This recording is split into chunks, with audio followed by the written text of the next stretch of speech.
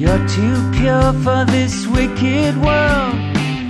Your data's uncorrupted, but does something